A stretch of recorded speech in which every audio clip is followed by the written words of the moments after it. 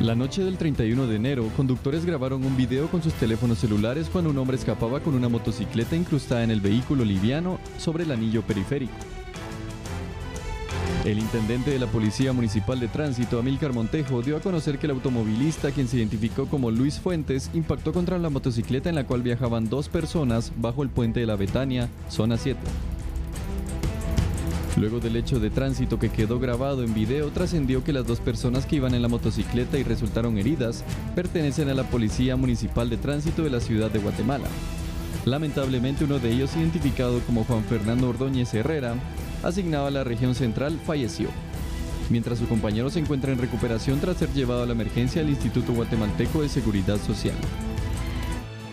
Desde finales del año pasado hemos observado que las jornadas de percance vial, donde se ve involucrado todo tipo de transporte, desde motociclistas hasta tráileres, ha incrementado.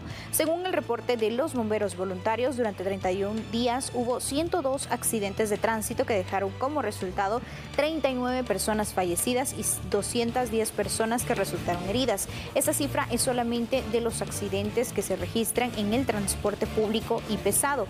Mientras tanto, Provial señaló señaló que cubrieron 129 percances viales. El resultado fue 10 personas fallecidas y 70 heridas.